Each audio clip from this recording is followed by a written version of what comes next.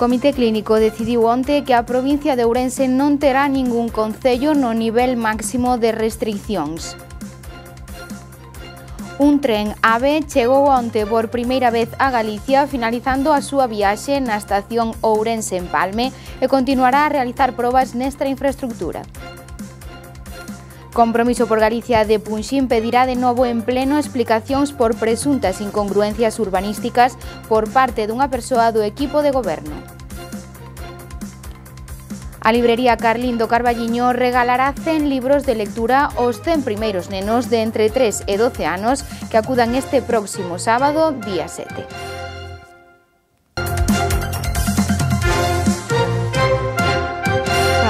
moi boa noite, como están? Comezamos, como sempre, actualizando a situación da pandemia na nosa contorna. O Concello do Carballiño mantén estables os 102 casos que lles confirmábamos onte, non hai variación. Os outros concellos sí que algúns deles presentan baixadas, aínda que moi lixeiras. Segundo a última actualización do Sergas sobre os casos activos por COVID na nosa contorna, a comarca do Carballiño suma 152 contaxiados. O Carballiño conta hoxe con 102 casos activos, os mesmos ca onte. Boborás baixa un caso ata os 16 contaxiados, Beariz dous casos ata os 9 casos activos e Maside mantén 9 casos. San Amaro sobe un caso ata os 5 contaxios e o Irixo e Cea manteñen 3 casos cada un deles. Punxín baixa un caso para ter un só contaxiado. No Ribeiro, o avión segue a cabeza en infeccións activas por COVID, aínda que volve a restar casos activos hoxe, baixando os 19 casos. Rivadavia, pola contra, sobe hoxe ata os 17 casos, tres máis ca onte. Arnoia mantén un caso, Carballeda de Avia sobe os tres casos activos e Castrelo de Miño mantén dous casos. Cenlle ten catro casos activos, Leiro, Cortegada e Melón manteñen un caso cada un.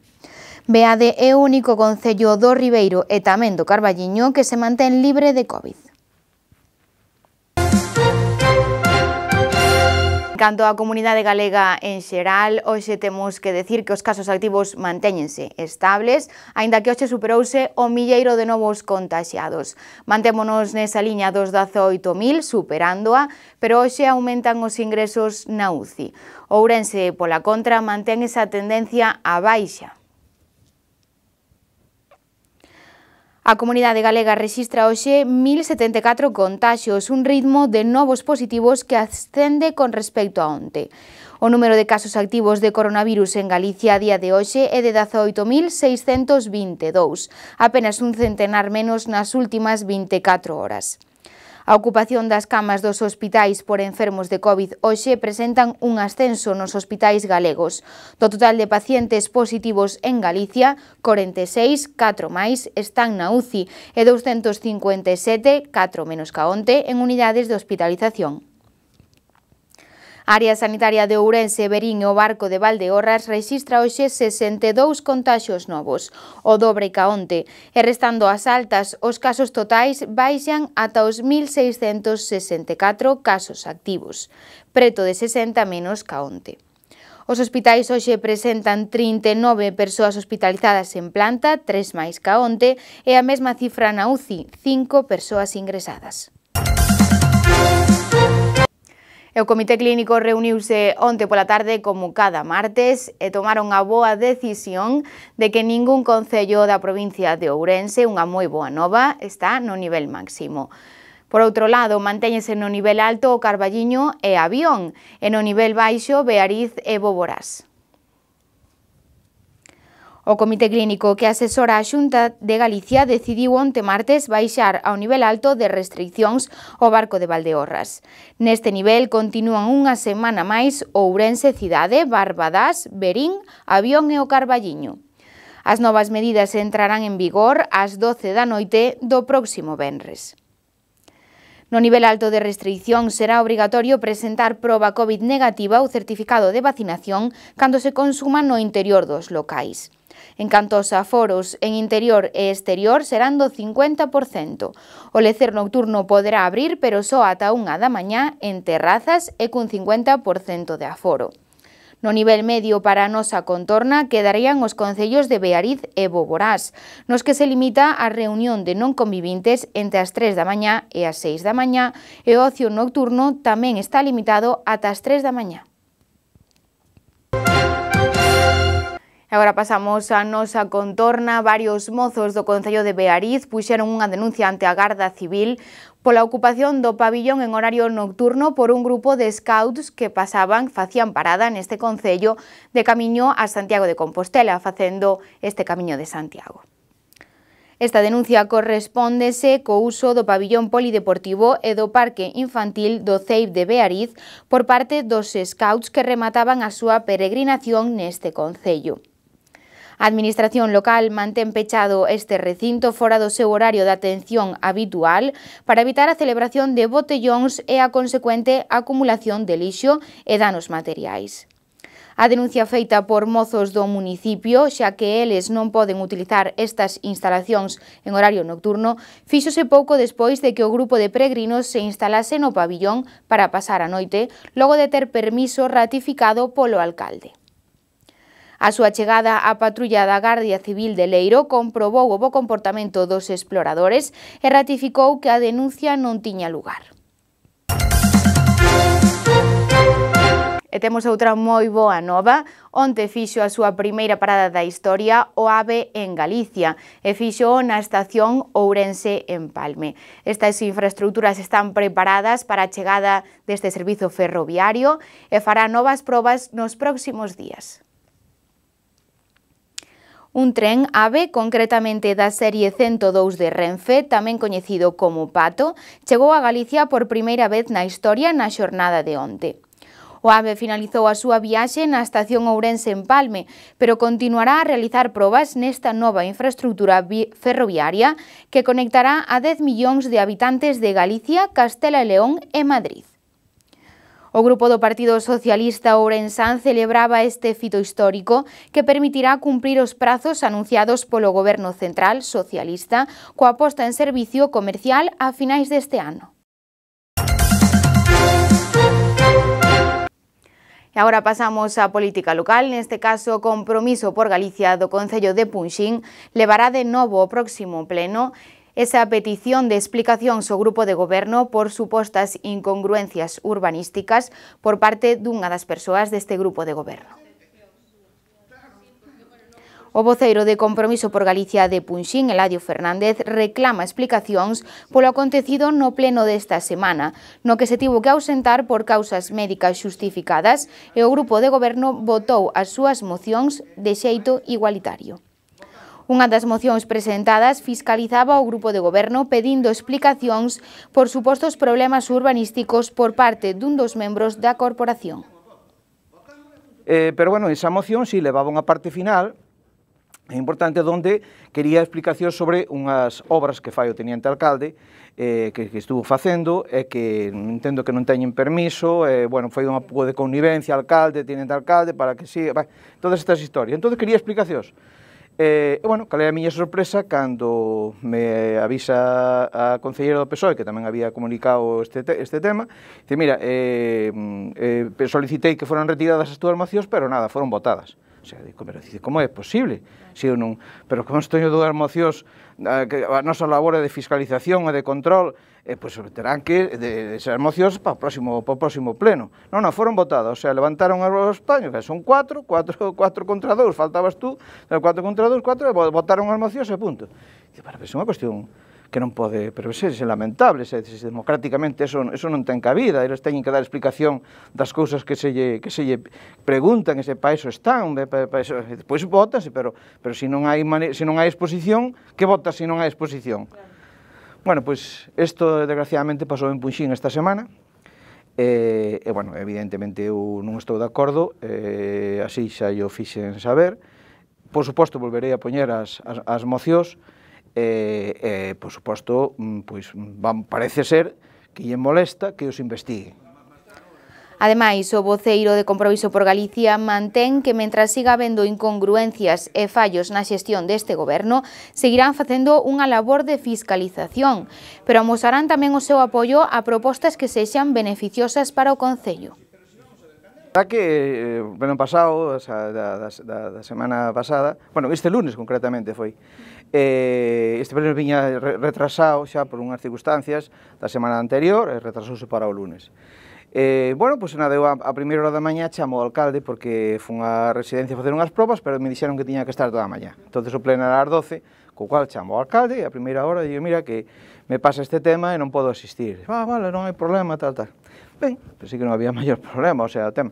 Eu tiña presentado dúas mocións, Compromiso por Galicia, unha moción era de control, da, un pouco, a exigir un poquinho máis de control ás residencias eh, de maiores, pensaba unha cousa interesante, unha moción interesante, e outra moción era un pouco o repaso de goberno dos dous anos que levamos, lamentables dous anos de goberno de, do, do, do Partido Popular unido a, a este Concelleiro de Ciudadanos, que forman un, un bipartito.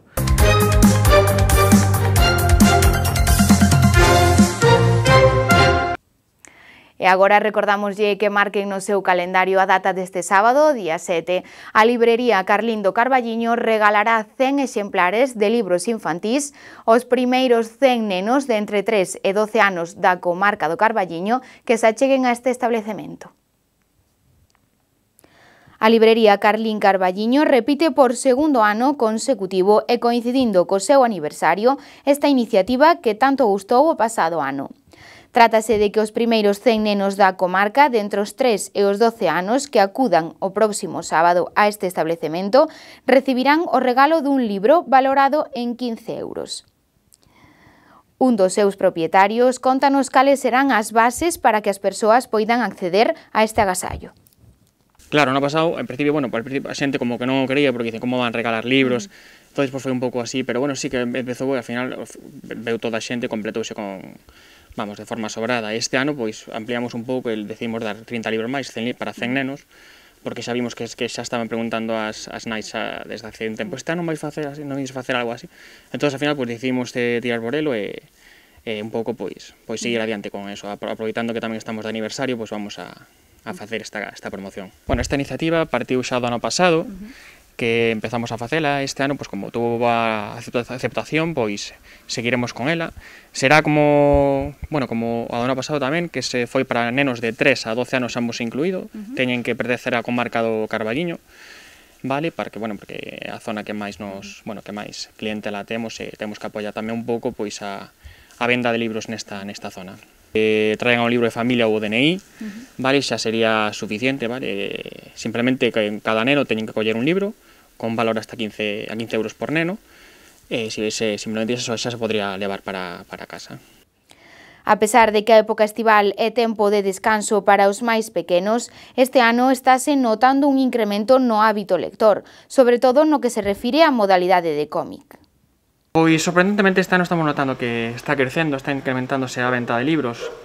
Eh, vamos, é eso, que, que os nenos tiren para adiante. Este ano se está, está, bueno, a venta que máis crece, o, sobre todo o tema de cómic, está un pouco de moda. Uh -huh. entonces este ano pues, creemos que tamén va a seguir así nesa, nesa, nesa línea. E por outro lado tamén é interesante que, que os nenos vexan que a, que as librerías eh, da calle, da rúa, uh -huh. eh, teñen, te, que ali teñan tamén a oportunidade de comprar un libro, non só nas plataformas digitais, que, bueno, que é un pouco máis frío o tema, aquí teñen un trato personal, poden ver uh -huh. máis libros, poden experimentalos, tocalos, palpalos. Esa tamén é a outra, uh -huh. a outra liña pola que estamos, bueno, tendo esta iniciativa. E a Xunta amosa o seu apoio ca conciliación e ca igualdade de xénero apoiando un dos programas que se están a levar a cabo no Concello de Ribadavia e que leva o nome de Lola Touza. O Concello de Ribadavia percibe neste ano 2021 casi 26.000 euros de investimentos en políticas de fomento da conciliación e de promoción da igualdade entre homes e mulleres e a loita contra as violencias machistas. Onte deu comezo o taller sobre a prevención da lacra da violencia de xénero mediante a sensibilización e a identificación das violencias contra a muller. Dito simposio foi ofrecido dentro do programa Lola Touza deste municipio.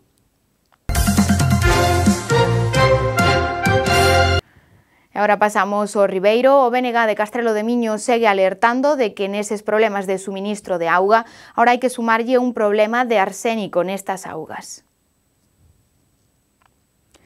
Dende o BNG de Castrelo de Miño aseguran que dende hai máis dunha semana que a parroquia de Santa María volva a estar sen suministro de auga potable e aseguran que dende o goberno lle botan a culpa dos defectos de instalación nos filtros de arsénico, que gobernos do BNG anteriores solicitaron á Deputación e que no ano 2020 quedaban solucionados, tendo que facerse cargo o Concello do seu mantemento.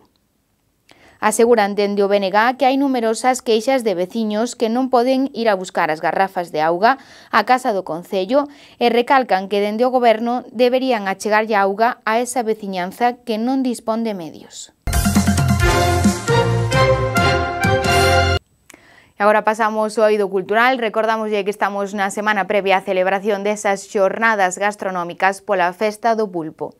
En canto á cultura, a Asociación Agarimos do Arenteiro celebrará, como é tradicional, a súa feira de artesanía, que estará o domingo na rúa principal do Carballiño. Este domingo, día 8 de agosto, a Asociación Agarimos do Arenteiro organizará a Feira de Artesanía e Antigüidades xa tradicional nesta vila.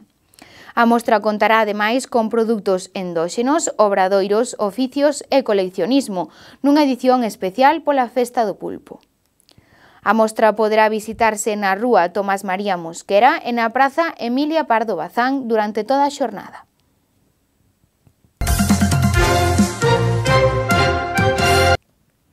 E recordamos tamén que nesta programación da Festa do Pulpo, hoxe pola noite está vendo concerto neste mesmo intre, pero tamén o haberá o próximo Benres con Pablo Milanés. E o Benres tamén será a presentación oficial da mascota da Festa do Pulpo, Octavio. Dentro da programación do Verán Cultural, e en especial nesta semana previa á celebración das xornadas gastronómicas da Festa do Pulpo, haberá numerosas actuacións musicais. Oxe, dende fai unha hora aproximadamente, na Praza da Veracruz, está soando o grupo Broken Pitch. Este venres será a quenda de Pablo Milanés, ás 11 da noite na Praza da Veracruz. Ademais, xa completou o seu aforo. Ainda así, dende o Concello están a completar un listado con todos aqueles que queiran asistir e que suplirán as vacantes das persoas que non acudan. Tamén o Benres, aínda que de xornada de tarde, ás 8, na pista roxa, presentarase de xeito oficial a mascota da Festa do Pulpo, Octavio.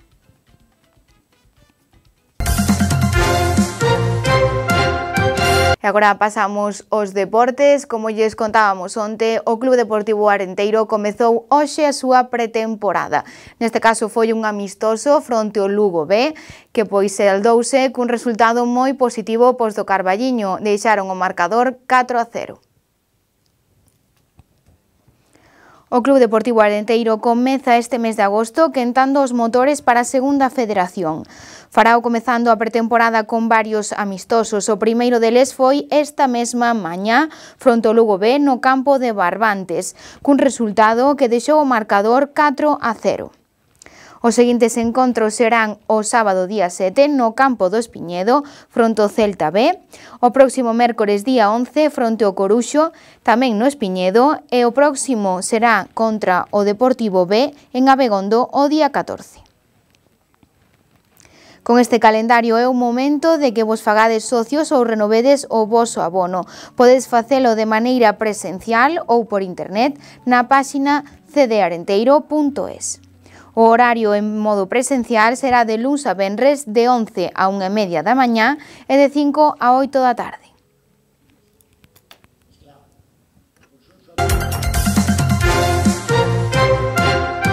En canto á previsión meteorolóxica para mañá xoves, a xornada comezará con ceos nubosos tanto no Carballiño como en Ribadavia, aínda que pola tarde espérase un 70% de probabilidades de choiva.